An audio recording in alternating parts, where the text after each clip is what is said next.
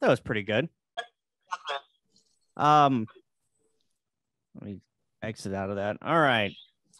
So it's been a fun couple three weeks at work. So I didn't get to really put together a presentation, but what I'd like to do is kind of walk through the new website and show you all of the things that you can do and and uh, get information on with the parks on the air. So let's scroll back to I believe it was 2016 where the National Parks on the Air was born.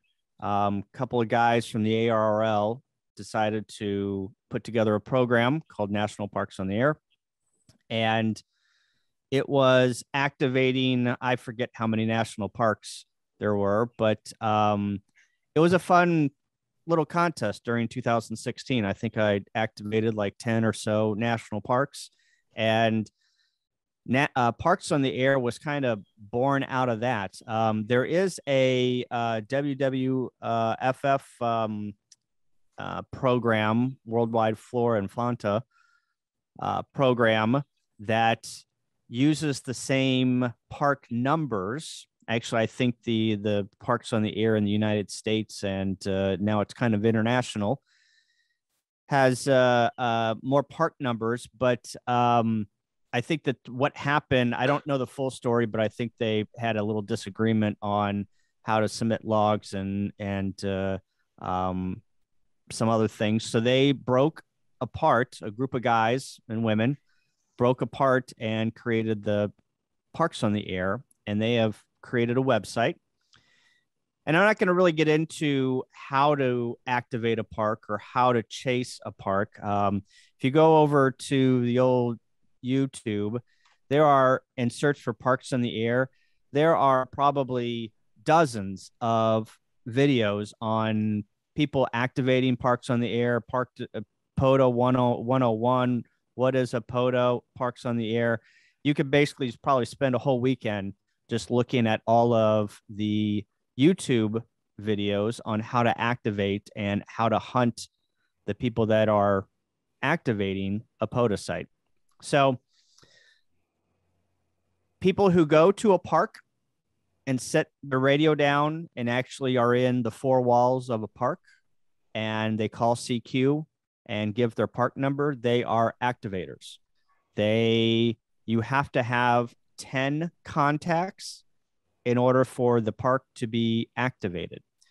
And an activator would call CQ, gather the 10 contacts or 100 contacts or 1,000 contacts or however many contacts, put them in the log, and then submit that log to a parks on the air coordinator for your area.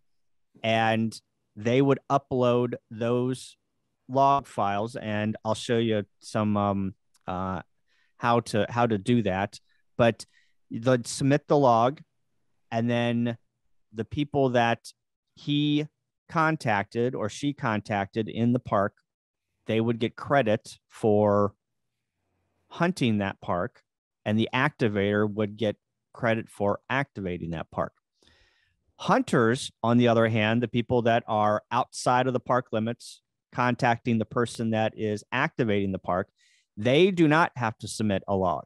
So only the activator needs to submit a log in Parks on the Air if you're familiar with SOTA, both the hunter and the activator have to submit logs in order to obtain those points to become either a sloth, shock, shack sloth or a mountain goat. Well, in parks in the air, it's a little different. Only the activator submits their log. The hunter can sit in their shack and hunt parks all day and all night and not submit a log. And as long as you just kind of I, I keep a notepad of all of the the uh, parks that I have hunted. So therefore, whenever the activator actually uploads the logs, I can check check that one off and say, "Yep, I got credit for it." So, and again, you can go out there and take a look at the YouTube page, um, and also there's some Facebook pages out there too that uh, kind of showcase the activation and the hunting aspect of it. I am going to concentrate here on the new and improved website that came out a couple of months ago. The old website was parksontheair.com, and that still exists. So, spelling out all of the words parksontheair.com, that site still exists. The new site is pota.app. So, it is a new, new and improved website. And maybe if you got two screens, you can pull up pota.app on one side and in this presentation here on the other side. So, this is the homepage that you're going to see whenever you go to pota.app. It's basically the spotting page. So whenever an activator goes out and activates a park, they're hopefully spotted on this page. And we'll get into um, some of the things that uh, the, the information you can glean from these spots.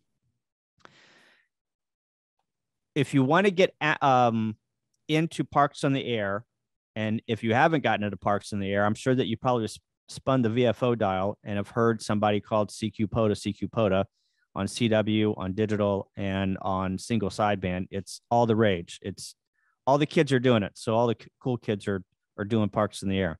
Um, it's kind of like FT8. So it's a really cool program to to get involved in. Um, there's awards, and uh, there's a ton of awards, and there's uh, different operating plaque events where they give plaques for most hunted, you know, d- different uh, categories in the parks in the air. But the first thing you probably want to do is you want to get an account. So I'm going to sign out of my account here. So this is what it's going to look like when you first go to this page. You're going to get a sign up or a sign in. So if you go over here to sign up, I believe that, um, yeah, you're going to have to go and create an account. So I already have an account. You can probably, you know, figure out, all right, you got to agree to the rules, the code of conduct, you got to review some stuff, complete the sign up, your typical stuff, right? You sign up for an account, it sends you an email, you validate your email, you sign back in, you're in. So I'm going to sign in. So this is the sign in. I just put my email address and my password in here and click the sign in. Goes to goes back to the spotting page this spotting page changes every 60 seconds. They are working on not doing this because it's a little annoying whenever you're you're trying to to work stations but um, you can see up here you've got the active spots and this data will, ref, will refresh in now it's 33 seconds okay these again are all the spots so you can see here aa4rf Randy McAllister. He's got a profile. If you hover over his profile, you can see some things about him. He's got uh, some activations, some unique parks, 23,000 QSOs, uh, 400 or 647 uh, unique parks um, as a hunter. So he's pretty active. Um, and he is at K 4526. And we'll get, we'll look into the map and I'll show you um, uh, what the park numbers are and how you can find parks around your your house and your area. But Cave uh, 4526, that's George Washington and Jefferson National Forest. So if you click on that link, it's going to show you everything about that park. So the, this is the stats of that park. So you've got the reference, you've got the location. Keep in mind that many parks are in multiple states. One of the biggest parks, quote unquote, parks, is the Appalachian Trail. That extends over, I think, 14 states. So, um, and it will have all of the states here that that park is located in. Whenever that activator is calling CQ, hopefully at the end or in the middle of their their activation they are telling you what state if it's not obvious what state they are in so if you are looking for you know worked all states for your your hunter award that you can mark that down as worked all states latitude and longitude i think that's just basically a designator on where they act or they uh, put the center of the park uh, DXCC entity. Of course, it's going to be United States, but Parks in the Air now is international. And there are parks in Japan. There are parks in um, in Europe. There's parks in South America. So it has expanded into different countries. So you um, might, you know, I saw that there was some Japan, some JAs spotted here on Parks in the Air. Park URL, if it has one, uh, a lot of the parks that get loaded, the original ones have URLs like the national parks, and the ones that have been loaded recently. And I, I think about every four or five months, they do a dump of new parks into the system. As new parks come online or parks got missed during the initial uh, loads they get reloaded into the into the system. Is it active? I'm assuming that there are probably uh, some inactive parks first first activation uh, kb1 hqs i don't know if you know this guy he uh stuart from um he has uh, written a book an ARRL book on portable operating so uh, you can take a look. That's one of the acclimates that you can get is the first activator for a park. And then some stats about the park. It's been uh, 232 activations on 246 attempts. So it looks like that some people have attempted to activate this park and uploaded a log, but did not have the 10 contacts to call it an activation. Then you've got some park leaders. Uh, AA4RF is leading the pack with 133 activations. So it pro- looks like this might be one of his close home parks. And you can see the f- top five people that have activated the park. Again, activator QSOs. So AA4RF is leading the pack with uh, 6,454 act- QSOs as an activator. And then Hunted QSOs uh, Infor HID has contacted at least 70 people that have activated this park. So here's some stats that uh, kind of give you the top five for that park. And then you can see all of the recent activations. Yep, AA4RF has, has uh, really put some context in the log here. So it was activated on the 7th, on the 6th, a couple of times, three times on the 6th, on the fifth floor. So it looks like this is a pretty active park that people are going to and setting up radio and, and playing playing POTA. Let's go back to uh, spots. All right. So this spot here, it shows what state it's in, shows the frequency and the mode. So you can see uh, AA4RF is on 80 meter FT8. And uh, he was spotted by KM3T. Looks like he was uh, spotted via the, the reverse beacon network. And you can see some of these are uh, reverse beacon networks, some of these are manual spots. So then the nice thing about activating a park for CW is you get spotted if you um, if you make a um, uh, what's the word I'm trying to think of? If you if you make a um, a uh, an activation public and um, you schedule an activation and you say that I'm going to be on 20 meters and 40 meters and 80 meters. If you call CQ on the reverse beacon network, it's going to pick you up and it's automatically going to put you on the spots page. So that is a nice feature uh, to schedule an activation, and then get spotted via CW or FT8 or digital on the main spots page. And then last heard a minute ago. So as people respot, you know, let's say I worked uh worked this guy AA4 RF and I wanted to respot him, I'd hit the respot here and I would automatically respot him in the uh the cluster here. And then you've got a little history on all the people that have heard him on the reverse beacon network or have spotted him manually. Okay. Any questions so far? Kind of doing a, if you guys have questions, just interrupt me and. Kyle. Yeah.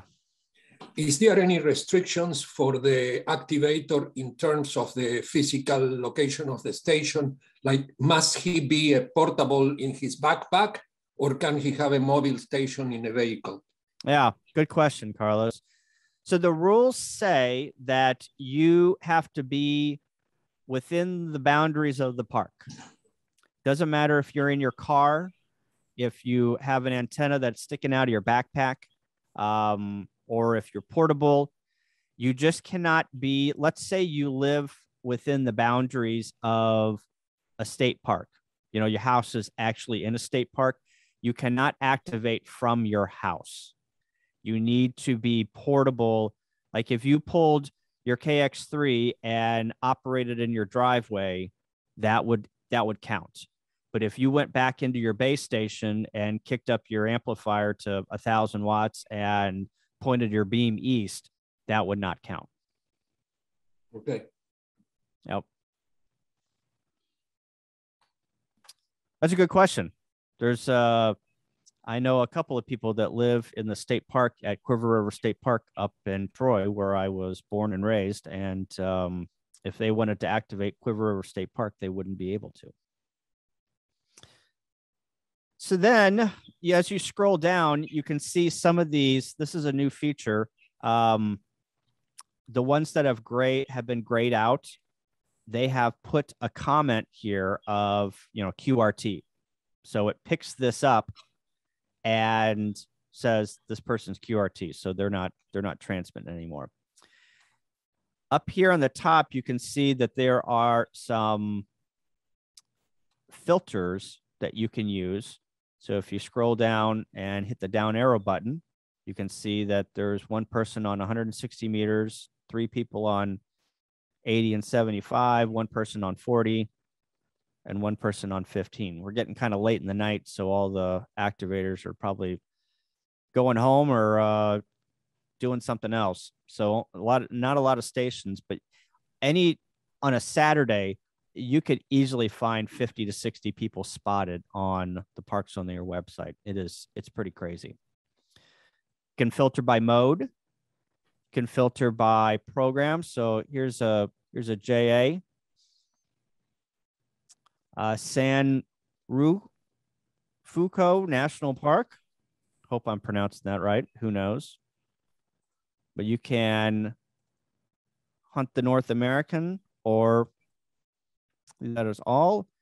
So I'm showing anybody that's QRT. If you want to hide them, then that uh, removes the people that are QRT. And as you hunt these stations, you can come in here and you can click this box and say that you've hunted that station. That will be remembered in your profile, and you can say, Show me everything that I've hunted or hide everything that I've hunted. So, therefore, as you get a database of um, hunted parks, you can just say, I just want to see the spots of the parks that I have not hunted Therefore, whenever I make that QSO, I know that I'm getting a park that is unique to me. And then you can sort by time, activator, frequency, mode, reference, park name, region, or spotter. So I'm going to go back to show. So anything on the spots page? Any questions on the spots page?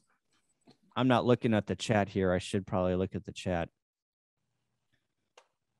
It's well done yeah, it is a very cool website. They um they totally redid this and on the back end there is an API that shoots out some um some JSON so you can pull these spots and pull them into any application you want. But it is it's pretty pretty slick.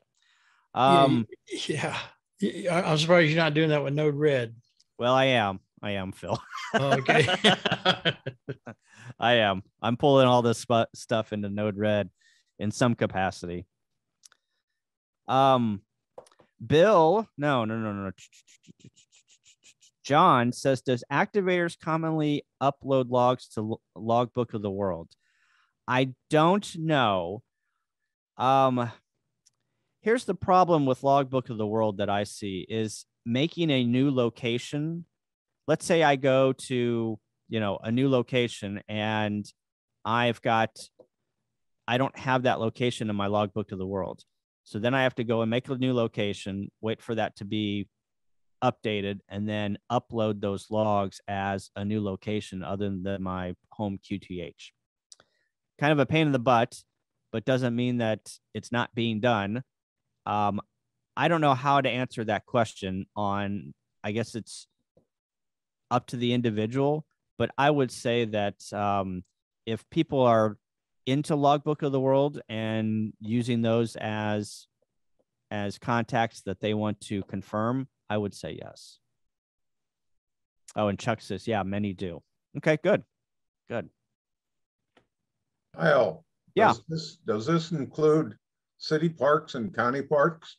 no that's another good question harry it does not include city parks county parks, privately owned parks. This is state parks, conservation areas, fish and wildlife, game areas, national parks. Um, oh, I forget some of the others, but city parks and county parks and privately owned parks are not part of the parks on the air system. That's a shame. Well, there is a lot of parks. I, I let's get to the map, and I will show you all of the the parks around St. Louis. And I think you'd be surprised on how many parks there are in the system. I think that there are over um, 8,500 parks, I believe, in North America alone. So, all right. So we went over the the spotting. So let's just kind of run through some of the um, oh let, let's let's add a spot here so let's say my buddy um, phil k0pws was on the air and he gave me a text message and says hey can you spot me? Sure i could spot you. So maybe he's on 14.200 our our favorite frequency. And um, he's at uh, k uh, and um, I'm going to put in here um, uh, running on KX3 with end fed. So I could hit the spot button and uh, oh, I got to put this in kilohertz. So you can see real fast anything that is in red is going to is going to tell you poo poo and you got to redo it.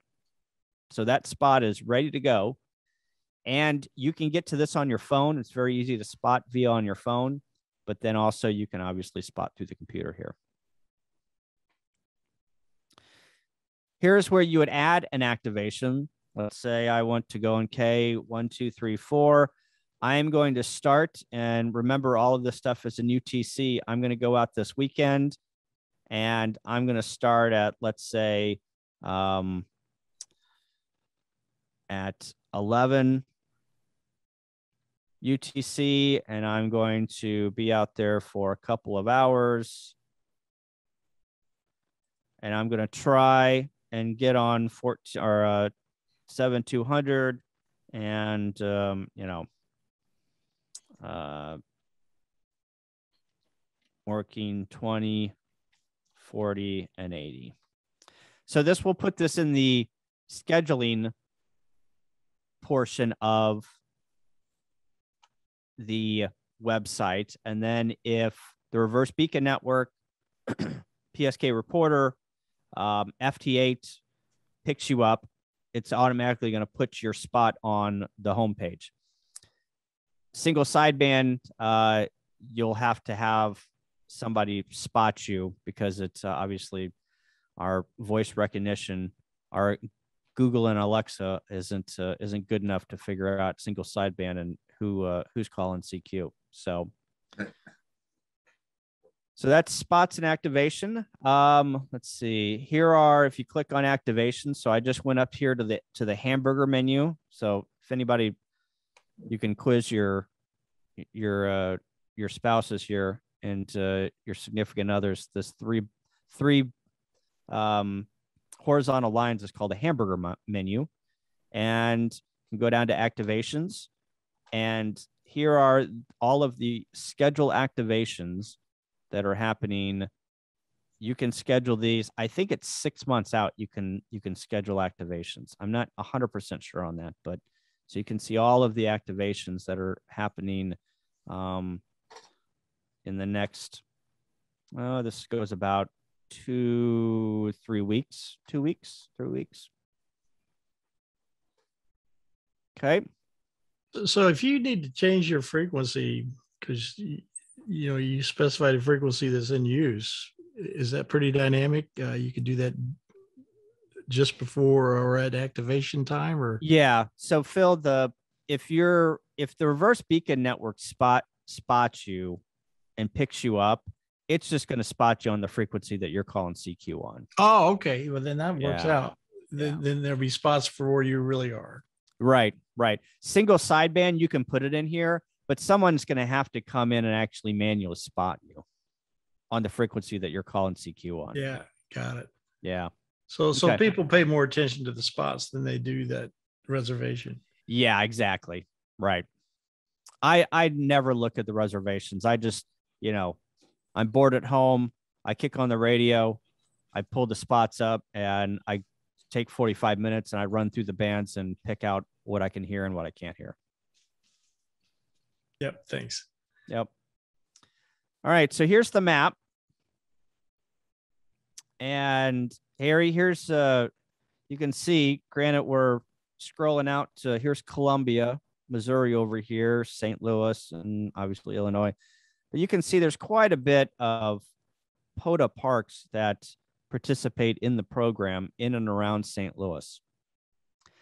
There's no way of marking these, the ones that you have done or activated, and the ones that you haven't activated, or the ones that you have hunted.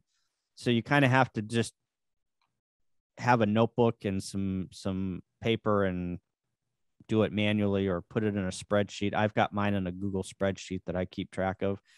But let's say, let's go down here to the Arch, which is a national park site, and uh, a little a little uh, knowledge about the Arch. If you're actually going to be on the Arch grounds, you have to have a permit um, to activate the Arch. So don't go down there and just string up an antenna. I'm sure the park rangers are probably going to come down there and tell you to take it down.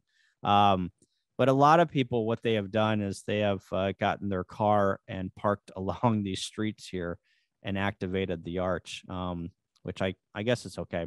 But if you're going to go portable on the arch site, uh, you need to get a permit from the uh, the national park system. That's another thing that you probably need to do is before you go to a park. I know that's a pain in the butt, but kind of get familiar on if you can string antennas in the trees. If the if you can't, there's a ton of of self-supporting mast systems that just stake in the ground. That would probably be a good uh, way to activate and put an antenna up, an end fed um, to activate a park. So uh, I try and keep as many things out of the trees as possible and kind of be self uh, sustaining and uh, self supporting whenever I go and activate. So if you click on the little yellow button here, it'll give you the name of the park, Gateway Arch National Park, which I don't think is the real name. I think it's the Jefferson Memorial Expansion. Or maybe I'm wrong on that. I'm really sure. But anyway, K0779 is the park number. And then you can click on more info. And here it gives that screen that we had seen um, before. So uh, again, more of this stuff on the left-hand side is filled out. You can see that uh, the park URL is filled out. The first activation was uh, WA2 USA back in 2016. So they keep records for, they imported some of the records for national parks on the air.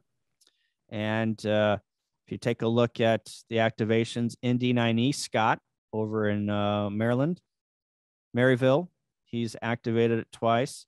And uh, you can see some of the, the recent activations here um, that I've activated. I'm sure that if you go back far enough, maybe I am in here. Nope, I'm not in here. Oh, well. I thought that I activated this and they had me in there. Oh, well. Um, so I guess they didn't put in the national parks on the air for for myself, but more stats on the park. So all the yellow dots are parks that are on Correct. the internet. Correct. I right. noticed that there's one down in uh, South County area. Yeah. You want this one here, or you want this one down in Pevely? Well, the one that's, I guess, well, there's one in Pevely and then there's one west of that also. Yeah. So there is this one's a cool park. This one is uh, uh, Governor Daniel Dunklin's gravesite. This one's a really cool. I've activated this park down here, and it's a really cool place, and it's it's very secluded, and it's at the end of this cul-de-sac here. And actually, it's not even a cul-de-sac. It's uh, I wish I could turn on the the satellite, but anyway, it's uh the the grave site is actually down here on on the bluff. You can see that uh, the um, um, the map here, uh, 150 meters above sea level, and then it drops all the way down to the river. And that the grave site is actually right here, and it's a really cool site to activate. You won't get anybody that actually comes and says, "Hey, what are you doing?" Um, so it's a really cool, neat place to to hang out for the afternoon and activate. The the one over here, Harry, is Sandy Creek Covered Bridge. I've activated this one. Yeah. Here's here I am with one activation and um let's see.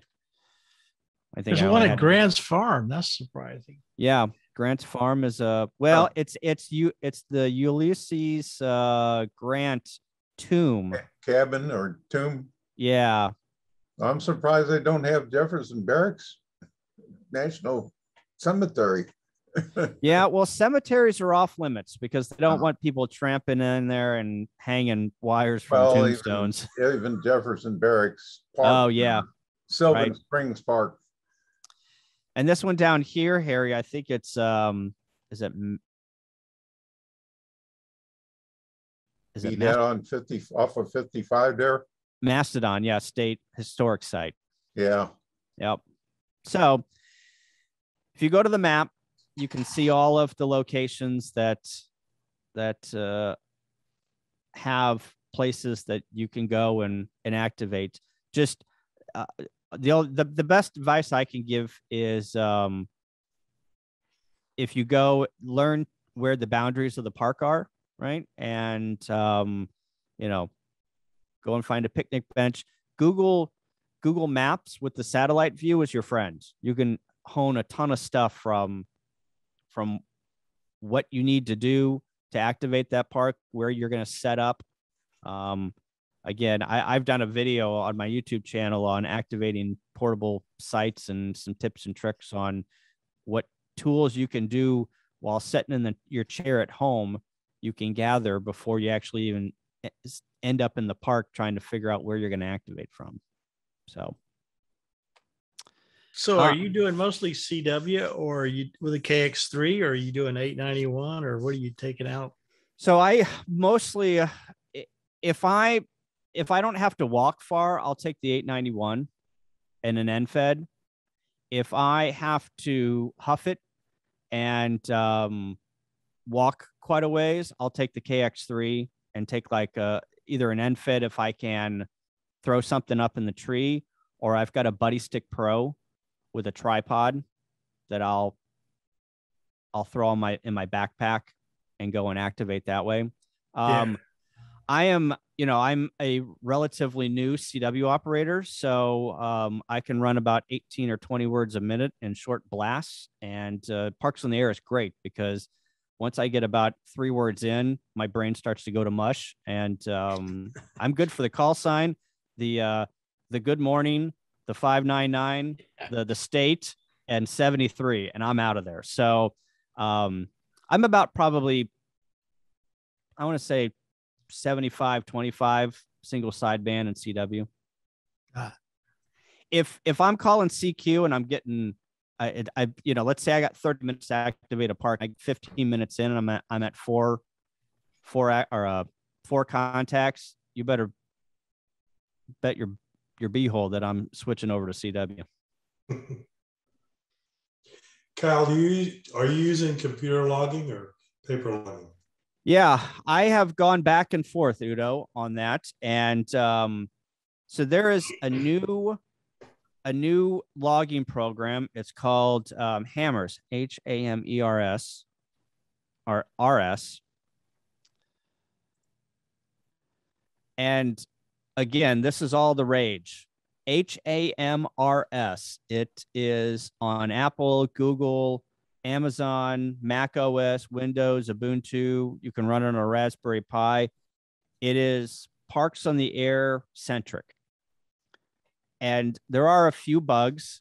There it is only developed by one person, Jared, and uh, but he has made a bunch of strides to make this one of the best loggers for Parks in the Air. The nice thing about HAMRS is you enter all your stuff on the computer or on your phone, and then you hit the export button, and you can literally export that to a file and upload it to your park administrator literally before you leave the park.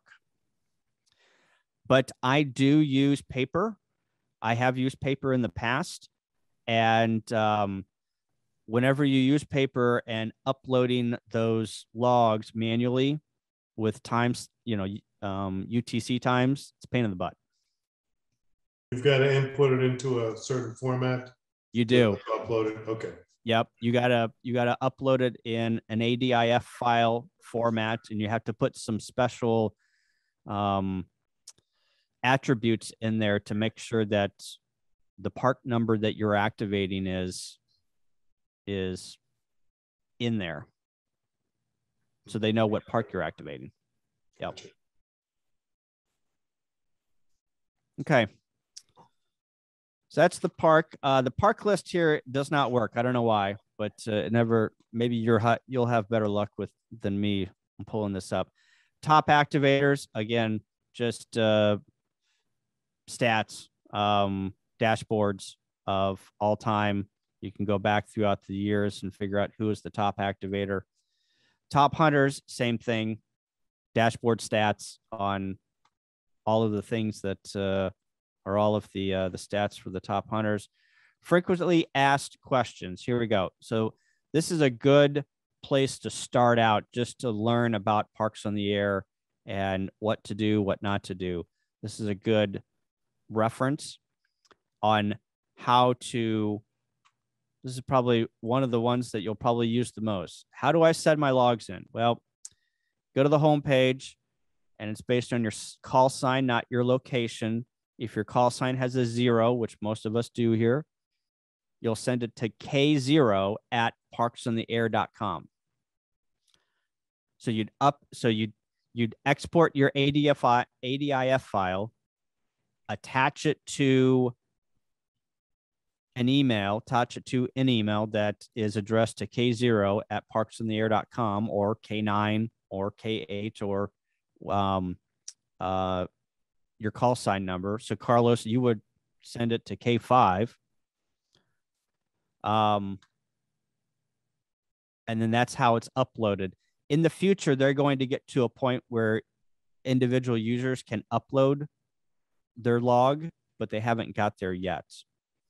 There is also a format that you need to put the um, uh, the file name in, and I'm not seeing it here, and I'm not really sure why they don't have it here, but you'll want to want to make sure that you you uh, put the file name in the format that they are wanting it, so it gets uploaded to the server. It is basically your call sign at, and then your park number, and then another dash, and then the date, uh, year, month, day there's a lot of YouTube videos on how to do that. Uh, rules and conduct. I'm sure that you probably can figure out what the rules and conduct are. Um, community resources. So we've got POTA Activator course, a PDF. You'll probably want to download this activator guide or this hunter guide. it's got some good information. Remember, hunters don't have to submit calls, um, log log files. Activators do. And they've also got a Slack and they've got a Facebook page. This is their Facebook page here, and it's very active. I bet you there's probably five or six posts a day on people activating or put uh, submitting pictures on things that they have uh, are parks that they have activated. They have some official events.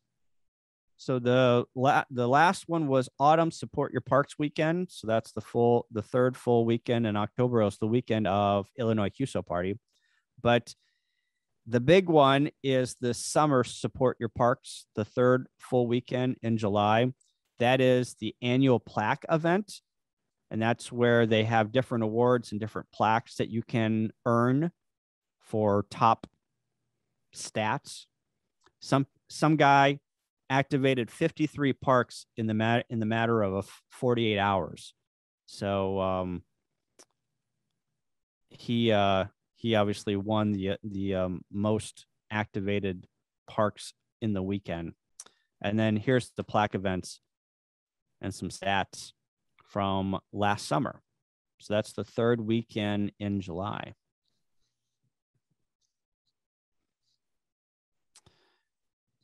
So then you can come down here to my awards. So here is the different awards that I have quote unquote won. It's just certificates, and I can download this as a PDF and send this off.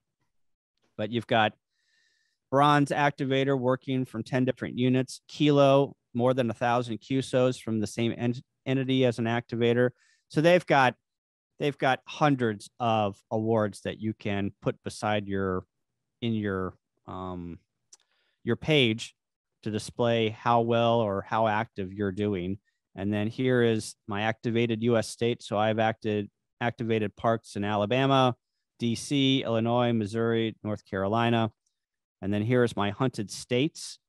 Still got Arkansas or uh, Alaska, Missouri. Huh. I don't have anybody from Missouri. How about that? Um, Nebraska, Hawaii, uh, New Hampshire, Idaho, Louisiana, South Dakota. I really don't t- take a look at most of this stuff. It's just like if it comes, it comes. Um, so then some other stats here. So a lot of a lot of camaraderie and um, poking fun at uh, your friends on on different stats. So here is some other stats here on you know like uh, all the bands that I've worked and all the contacts, the different modes, and uh, yeah. And then my activations. So here are all the parks that I've activated. My latest one here was uh, let's go to the Vietnam veterans. That was down in um, Washington D.C. I was down here on the National Mall a couple about a month ago and activated the Vietnam's Veteran Memorial. Talk about Veterans Day today. Sat uh, sat right over here and activated the uh, the memorial in Washington D.C. So, just a list of all the parks that you have activated, and you can sort by date range. Then my logbook is uh, this is going to take a minute, but uh, this is all of your logs. So not only whenever you upload them, you can actually look at them. Also, some of the places that you upload, you can't look at uh, your logbook again. And then my account. This is where you change your avatar, change your personal info, and um, this would have some of your call signs. So the one thing about activations is you can activate under a club call sign, but also get credit as an activator as yourself. So therefore, the club gets credit for it, and you get active activation credit for it also. Kyle, do you have to uh, do a slash uh, portable or uh, let, us say you're doing Illinois? Uh, would you have to do a your call sign AA0Z slash nine, for instance? You don't, you don't have to. I don't. Okay. No, I don't. Okay. Um, sign out. Everyone knows how to sign out. And this late shift mode. So there's a couple of different awards that people they're prestigious about. The Kilo Award, having over a thousand contacts in a park, that's pretty prestigious. And then also another one you can see from the spots page, there's not a lot of spots after uh, zero zero UTC. So another prestigious award is the late shift mode. That's where um, you activate a park after zero zero UTC. I believe it goes to 6 a.m. And they made a they made a uh, late late shift mode um, theme out of the website um, for all the people that are in late shift mode. So that's where that come from. Table view. So either you can look at uh, the spots in table view or you can put them in card view and then uh, show user stats. Ah, so you can, uh, looks like it turns on, on and off the, uh, the avatar. I'm not really sure what the avatar, I never messed with the avatar. I think the avatar is something along the lines on you can make it, it shows how active you are. So, but the avatar is something that you don't change in Parks on the Air on that profile. You have to go to another system and change your avatar. I didn't understand that and I just didn't do anything with it. So, um, so yeah. So that is the Parks on the Air website and a little bit about the program. It's pretty much all that I had. Any questions about Parks on the Air or things that uh, has anybody had some good experiences parks on the air? I'm sure that you guys have probably hunted the parks on the air, but has anybody gone out and completed an activation? No. Yeah, I have, Kyle. Yeah. Yeah, I, I did some of it uh, during uh, Missouri QSO party. That was kind of fun, handing out all kinds of numbers and trying to keep it all straight, and uh, and then figure out how to upload the logs and all that kind of stuff. It's fun. I'd like to do more of it. Uh, should I get the time? Yeah, it is. Um, you know, some people go gung ho with it. I we were up at uh, Union Ridge Conservation Area for Missouri Parks on the Air. And that is calling CQ POTA and CQ Missouri QSO Party or State QSO Party is one way to really boost your score. I mean, we probably contacted, I want to say it was over 50% of our contacts were just for people trying to hunt that park um, because mm-hmm. it was a mm-hmm. pretty rare park. But um, yeah, you can parlay it into something else, and um, it is a really good program. The the the guys and the gals that are behind the website and the program and keep everything functioning on the back end. They it's a really good group of people and it's a really good program. Um, it has spurred a lot of interest and gotten a lot of attention and have gotten you know people's uh, butts off the couch and actually in the into the parks enjoying nature and um, getting some QSOs put on the air, right? Yeah, I, th- I think the uh, the neatest thing about it is that uh, people with modest capabilities, either for activating or for working from home, can really have a lot of fun with this program. DXing, which we're all familiar with, takes a little bit more horsepower to really be successful once you get past the the basic uh, basics of it. And um, a lot of people just simply don't have access to that, either because of where they live or economic circumstances or whatever. And this is great. You can be a big gun in POTA um, with 100 watts and, um, you know, uh, just a, a vertical in your backyard or a portable antenna that you haul around in the car it's easy and um, it's really getting a lot of people on the air. They're active, they're interested, they're engaged in propagation. They may, you know, eventually get to be interested in DXing and more competitive events. But right now, anything that's OTA and it gets people OTC off the couch and OTA on the air is fine with me. Yep.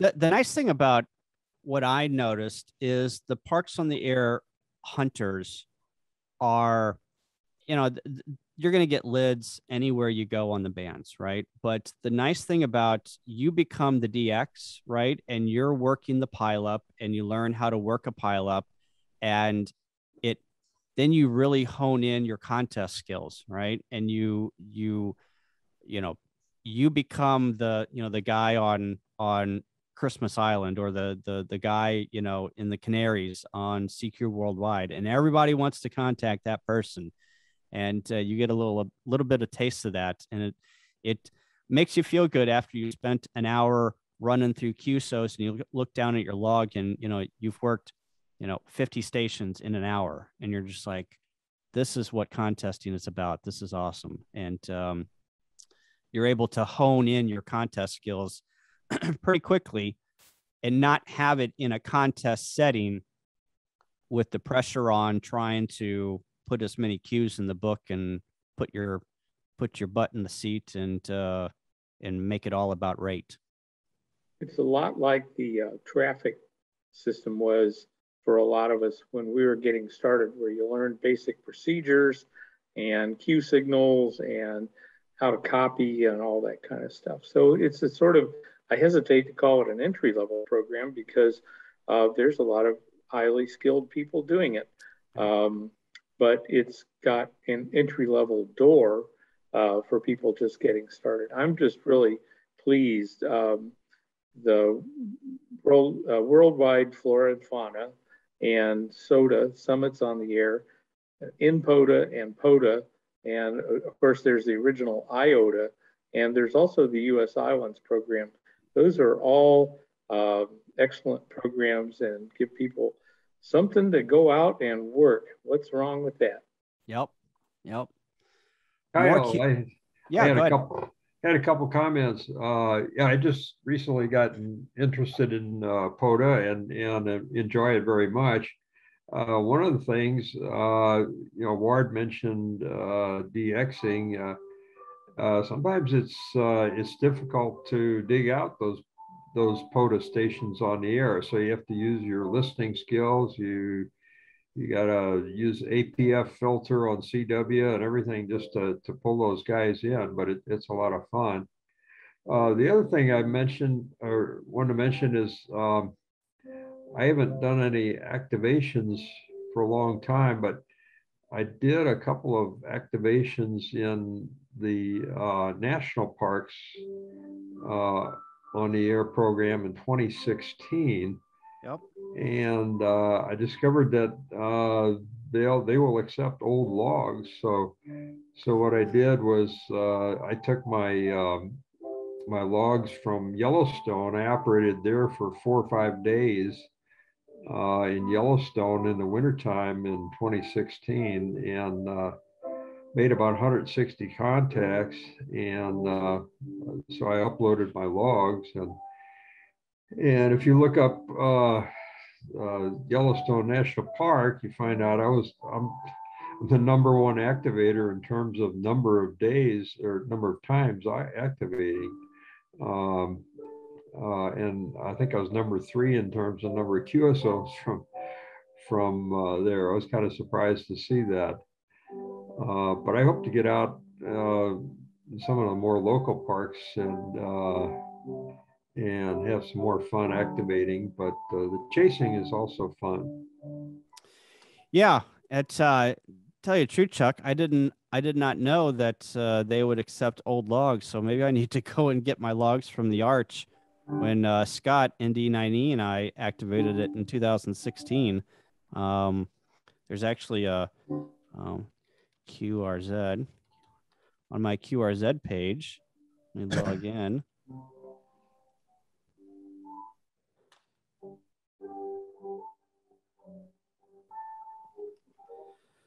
There's uh let's see. Yep, there's there's myself on oh, the arch grounds yeah activating uh the arch so i need to go back and upload my my logs yeah there i am no0c i think was the guy i uh, contacted he's very nice he's real helpful and uh, good to work with and i did uh yeah the grant national historic site also so yeah i'll have to go out and upload the um the logs i did not know that that's a that's a good good tip there, Chuck. Thank you. Sure. Yeah. Yeah. You get some points to some of the people that uh, on their scores too. Yeah. Yeah. I did not know that. So I'll have to pull those out. Thank you. Mm-hmm. So, Kyle, i- if uh, you mentioned uh, you put up the end fed a time or two, do you ever take your big shot, uh, or do you run into issues uh, with park rangers, or what? I the, the only time that I have not had an issue, but I was down at um, um, Babler State Park, and I had so I don't take my big shot out with me. I use a method. Um, so a big shot is one of those big, huge slingshots that you can launch, you know, a weight, a football field. I've got one of those, and we use those for Missouri QSO party to get that loop, you know, 50 feet up in the air. Um, but what I do is I take a arborist throw line and I've got a sack and I push all of the arborist throw line into the sack and I've got a a 12 uh, ounce weight. And if you go out on YouTube, there is a method where you actually act like it's a pendulum and you you take if you want to shoot your your your weight up in a tree you stand with your back behind it and you you spread your legs and put your pendulum and you put your weight and then what you do is you get some momentum and then you fling it up over your head. And i bet you you could probably get that thing 60 or 70 feet in the air. And that Oh, is the wow. method that i use. If you if you go out on youtube and google um arborist throw line techniques that is the way that I get my end fed all the way up to 40 or 50 feet, depending on, you know, if I got a 40, 40 uh, meter end fed, that thing's, you know, it's Yeah. like 66 feet or 68 feet or something like that. Um, that's that's an interesting technique. I, I the only reason I ask is I was in down in Orlando one time and, and uh, guys were talking about one of those uh not even the the arborist version of the big shot, but just a slingshot to shoot Yeah. fishing line.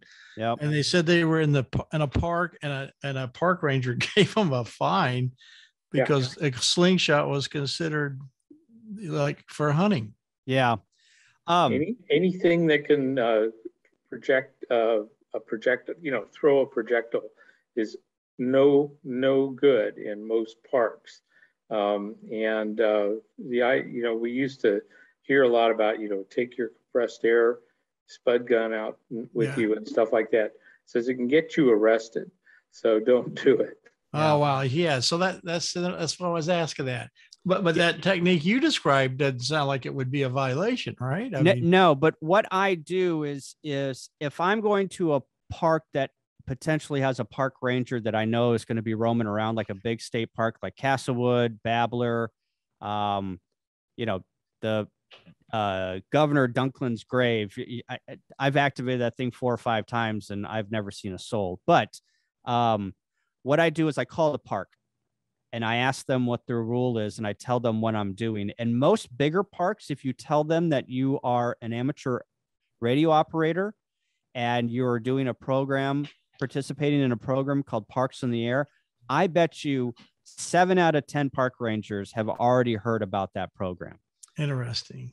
So then you ask them what's their policy on putting ropes in trees, and either they say yay or nay. And then what you do is you get that park ranger's name because whenever Park Ranger Bill comes and says, Hey, you're not supposed to do that, you can say, Well, Park Ranger Sally said that I could do this Yeah. on this date and on this time. yeah, that's good. but I have I have only we have run into well I've I ran into park rangers at Babler and they came over and said what are you doing? And of course they say are you contacting aliens? And then you say the the obligatory yes I am. Do you want to come and talk to them? And you know um then you you know have your 30 s- the um 30 second elevator speech on what what is parks in the air and what is amateur radio. Um but the the the most issues that we've had was up at Union Ridge at Missouri QSO party. And the ranger, the conservation agent comes over and says, uh, you guys aren't supposed to be camping here. And was all this electronic equipment. So then we have to pull out the permit and show them the permit that we are there for an amateur radio expo. And we are, we have, you know, the proper procedures and qualifications and this and that. And one guy said, "Well, I need to fi- see your amateur radio license." I'm just like, "Oh no!" Oh wow. So I had to get on the on the net and go to the FCC database and show him because I, I don't carry it in my wallet. yeah. Yeah. So I had, to, I had to literally show him that I wasn't actually, but there was seven other people there. It's not like, you know, not, but because uh. I signed the permit, I, I had to have show him the amateur radio license. And then after I showed him the amateur radio license, he got in his car and drove away. So You're supposed to carry them on there and. I'm That's- sorry. That's what that small part's for. I, I hear Carry you. it in your I, I knew I was going to get, I was going to get flack from the, uh, the VEs in the room. Um, You But I was- can get your uh, am, amateur radio license on the credit card size uh, thing, and it's uh, done right here in uh, the St. Louis area where somebody does that, and it was uh, really inexpensive, yeah. and I and I got it pretty quick. I forget who I got it from. I've Oh, okay. gotten one of those. That is good. That is a nice way to I do guess it. that's nice, but I just uh laminated mine. yeah. Well, you should, I should have learned my lesson, but I still don't carry it. But, um, But anyway, that's the only run-ins that I had. I Okay. Yep. We have any more questions? No. That's very, very interesting, Kyle, about Thanks. the, uh, you know, that's, and really, uh, you're right in that, you know, you start chasing, what, what came to mind when, when you were talking about these uh, parks on the air is the, uh, the county hunter situation, where you're going for 3,061 or two, whatever the number is you know, and you and you sit there and you spend literally years doing that stuff to get an award that says here you talk to everybody in the United States. well, well, Um, uh, uh, unlike unlike Dayton on Sunday, where they have the three guys stand up who have worked from and to every single county in America. I th- there's not like uh, I guess it's the plaque event that uh, you get some recognition, but yeah, those three those three guys on Sunday afternoon that stand up on the county hunters that blows my mind. Well, the the ones that really should blow your mind are the ones that have done it nine times. Oh, there's And somebody that's done it nine times. Oh yes, oh yes. Oh, I only know the couple of guys that have done it like three times. No, there are people that have done it nine times. Oh my god. That is, you know, what's the definition of insanity? Well, there- wow. doesn't take much, but really, no. But it's um, Fox Fox did it. what's that? Uh, More than once? I'm not sure. I think he did. Uh, that was uh, uh, uh, No, his brother Silver was was uh, big into that, and he ran all over the place putting out counties. But yeah, be that as it may. Jim Glasscock. Yes,